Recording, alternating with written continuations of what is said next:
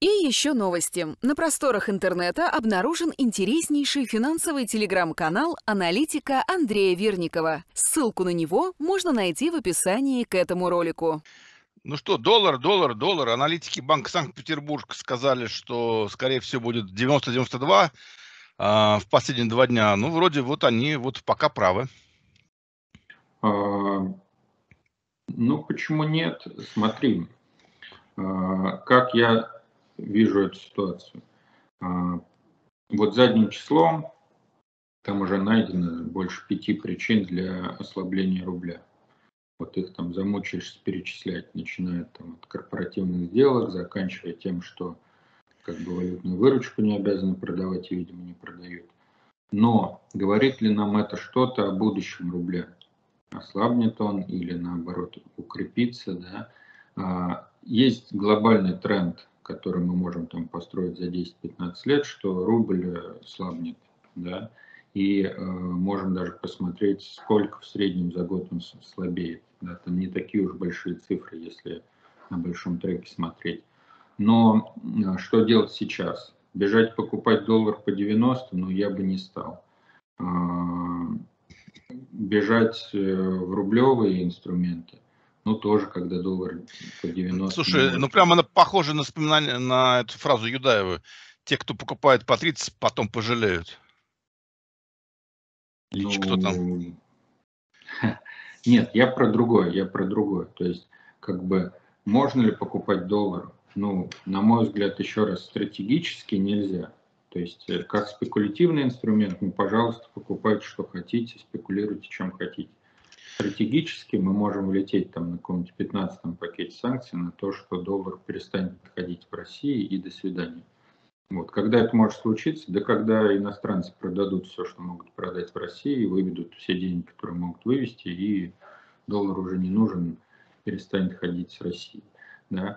А, а если смотреть э, вот глобально, как же нам заработать на ослабление рубля, ну, я уже говорил, я вижу только вот э, два инструмента, это либо золото, либо юань. То есть это долгосрочно, что у нас останется в России ходить. Вот. Можно ли сейчас на все деньги покупать золото и юань? Я считаю, что нет. То есть если мы хотим войти в такую позицию, нам надо э, разбить деньги, там, не знаю, на 10 частей и раз в месяц закупаться.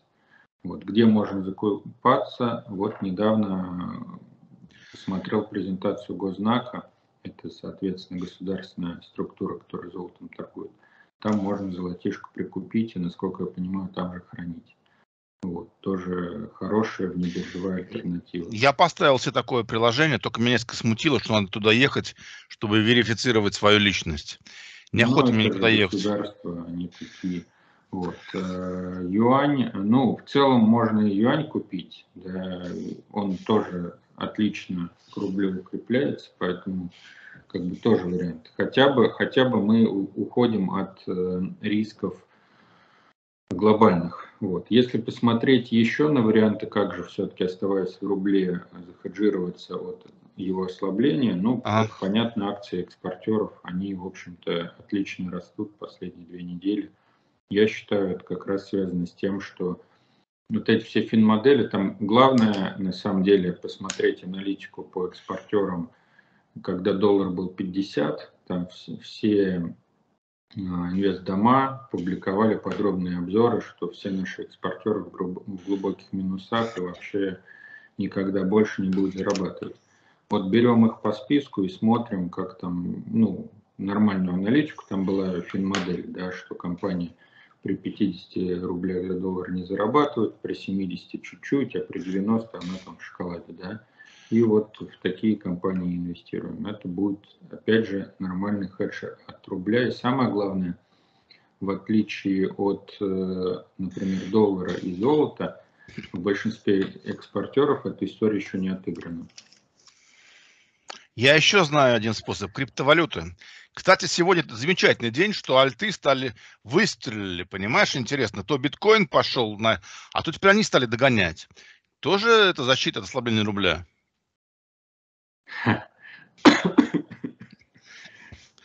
Ну, не знаю. А, как бы что тут сказать умного про альты? Ну, даже не про альты, да, там же есть крипта, которая привязана к валюте, вот, и теоретически вот просто ее покупаешь, не волнуешься за всякие блокировки России и так далее. В чем проблема? В том, что надо совершить раунд-трип, то есть зачислить туда деньги, купить, потом продать и вывести, да, и посчитать, сколько потеряешь на такой конвертации. Потому что ну да, рубль на 20% обесценился к доллару. Но если ты купишь э, этот, например, стейблкоин и продержишь его, а потом продашь и заберешь себе рубли, ты эти 20% можешь потерять на конвертацию. Ну, не 20-15, да. И что ты тогда выиграешь? А сказать, что там нет рисков, нельзя, потому что самые популярные криптобиржи, если раньше их взламывали, да, теперь на них наезжает SEC, э, ну, то есть это комиссия по ценным бумагам США, да, и там э, плохо себя чувствует в этом плане юридическом и этот, как его, э, Binance и вторая там площадка. Ну, в общем, короче, понятно. Но мы не храним деньги на криптобиржах. Нам по барабану. Мы даже покупаем на обменниках. Вот. А что касается стейблкоина, то есть тут еще один маленький риск, что Тезер, э, многие думают, что она полностью хранит деньги в долларах, когда это стейблкоин USDT. А на самом деле там есть еще определенные фонды, вот, где он хранит. Поэтому процентов 70 долларов, процентов 30 в этих фондах. Тут еще надо копать, где он хранит эти, это бабло. Я тебе больше того скажу но все равно самая популярная крипта, такая стейбл, да, она может э, в любой момент, ей тоже может прилететь от регулятора. И она обвалится. Поэтому, в общем-то, я бы, я бы не искал тихую гавань в криптовалюте. По золоту. Ты упомянул золото сейчас, как э, и в прошлый раз упомянул, сказал, что ждешь коррекции доллара, чтобы прикупить золото. Да, да. А, кстати говоря, помнишь, мы три месяца назад обсуждали золотые облигации Селигдар, они вот первый купон выпустили, и э, там доходность у людей 11 э, процентов физических, то есть это 11,5, это в районе 46 процентов годовых. Вот. А, в чем нюанс? Разумеется, когда купон у тебя 5,5, такая доходность получилась не за счет купона она получилась к тому, что тело облигаций привязано к золоту. Вот. И, соответственно, рубль обесценился, золото подорожало, плюс еще купон начислился, и вот у тебя уже 46% годовых. Зачем тебе как бы э, фондовый рынок, риски в акциях, какие-нибудь альткоины, если ты можешь получить 46% годовых в долларовом инструменте, не выходя из дома и не лезя в какие-то там а, сомнительное хранение там, в иностранных юрисдикциях. По-моему, хорошая история. Но в чем проблема? Проблема в том, что э, это не повод сейчас покупать эти облигации. Да, еще раз, чтобы на них заработать системно, надо их покупать, условно говоря, по средней за год, чтобы хоть как-то застраховаться от колебаний золота. Вот. Э, но, тем не менее, три месяца назад все говорили, что вот Селегдар на хаях э, занимает в золоте, а оказалось, он занимал, в общем-то, по очень таким божеским ценам. Вот. Так что золото золото рознь, тут надо набирать корзину золотых активов. Да, конечно. Goldman Sachs опубликовал табличку интересную. Там написано 83 за доллар на горизонте 3 месяца. И, по-моему, в течение года или полтора, 96, что ли, ну, неважно, 83. Ты веришь в 83? Ну, не особо, честно говоря. Я думал, ты другую новость Goldman Sachs вспомнишь. Про магнит? Нет, потом. Да, да, да. Нет, нет, давай сначала про доллар. А, знаешь, я не хочу вот это, веришь, не веришь, ну, знаешь, гадание. Ну нет, вот. просто вот э, хорошо. А, давай по-другому. Э, Какой уровень вот тебя что устроит? Делать с тем, да, что да. рубль слабеет к доллару, и это системная история многолетняя. Да? Какая разница, во что я верю, если это системная многолетняя история? Мои инвестиции должны э, зарабатывать при ослаблении рубля доллару. Вот так. То есть я инвестирую не на месяц, не на год, да, больше. И, соответственно, структура моих инвестиций должна учитывать, что рубль слабеет к иностранным валютам. Как это можно сделать? Экспортеры, а, эти золото, валюта, да, все, больше у нас сейчас в России ничего нет. Э, вот так э, и защищаешься. В основном я защищаюсь через экспортеров. Вот, немножко золотишко, э, да и все.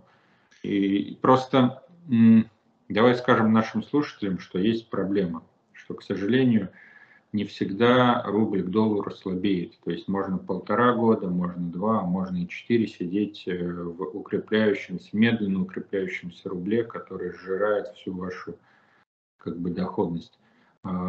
Просто как бы люди, может быть, не застали эти периоды, но они есть. И, кстати, в чем проблема? А, в том, что чем лучше будет у России дела, на фронтах экономической войны, на СВО и так далее, да, тем как бы стабильнее будет рубль. И вот тут как бы нюанс. Тогда э, ставка на то, что рубль будет слабеть, она будет ошибочная, если мы с другой стороны считаем, что Россия на всех своих фронтах победит. Вот, поэтому здесь э, надо быть осторожным. Конечно, мы сейчас не будем обсуждать геополитику. Не потому, что я боюсь, а потому что живем в такой... Это такая штука, искусство обмана. Там Сладков пишет э, о новом наступлении России. Ну и пускай пишет, он, он это его хлеб, а это не наш хлеб. Правильно? Ну, я заметил, что если я больше интересуюсь вот этими делами а, политическими, я хуже торгую поэтому я все-таки отписался от этого, и как-то доходности лучше стали. Поэтому я считаю все-таки, вот знаешь, говорят теханализ, э, в график э, включены все новости, да, а я считаю, что как бы в другом, может быть, контексте, но в финансы компаний, да, в балансе компании действительно включены все новости, и э, по ним можно вполне нормально торговать. Можно. Только в периоды всяких э, походов некоторых людей там на Воронеж и на Ростов теханализ и фундаментальный анализ плохо работает.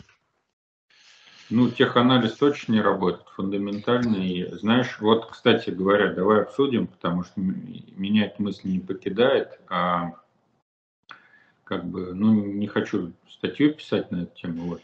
Смотри, есть ОВК, отчетность не публиковал уже черт знает сколько времени. Там последняя есть, по-моему, три месяца mm-hmm. 22 года. Вот. Куда ни посмотрю отчетность всех его дочек и самого К, что-то все плохо, все они в минусах. Но как смотрю все другие, вот косвенные данные, да, то есть растет доля инновационных вагонов в продажах. Металл упал, то есть там вот эта ценовая ножница, что металл дорогой, а вагон дешевый, она сейчас перевернулась, что вагоны дорогие, металл дешевый. Урал вагонзавод, ему сейчас не до вагонов, он другую продукцию производит. То есть вот как бы по косвенным данным ВК должен быть как бы большой прибыли.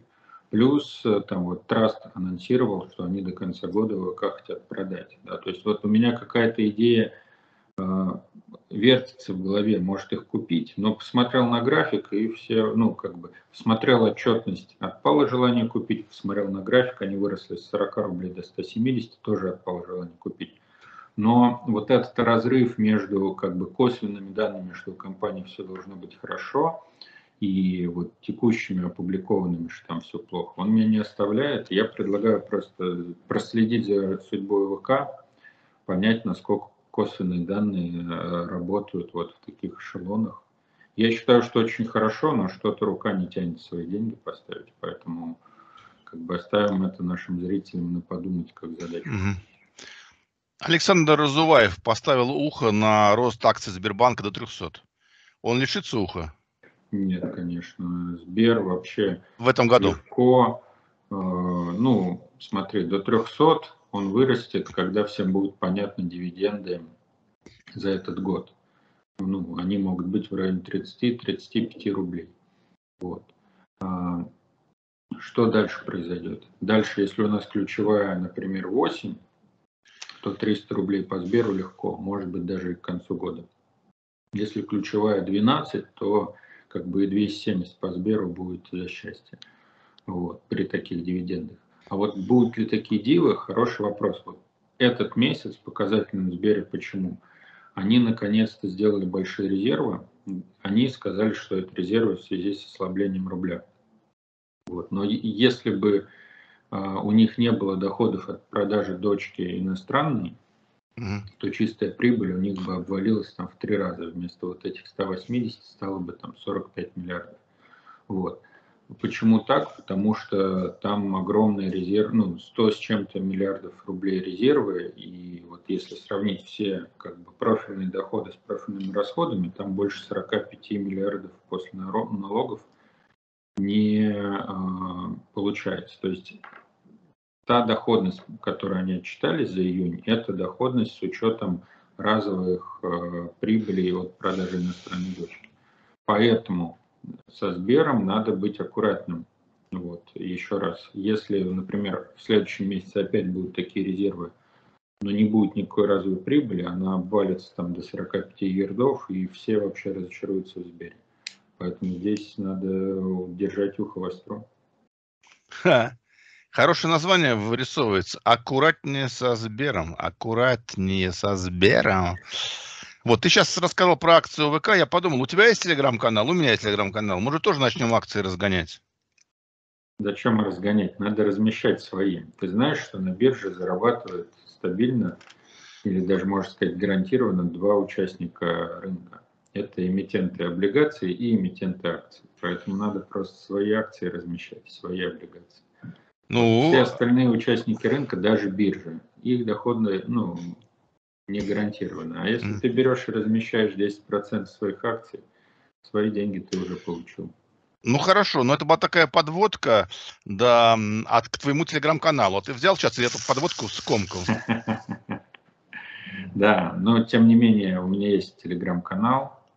Подписывайтесь, я там делаю обзоры а, отчетности компании, публикую свои мысли по рынку, философию торговли. Я думаю, многим будет интересно. Спасибо большое, Артем. Пожалуйста.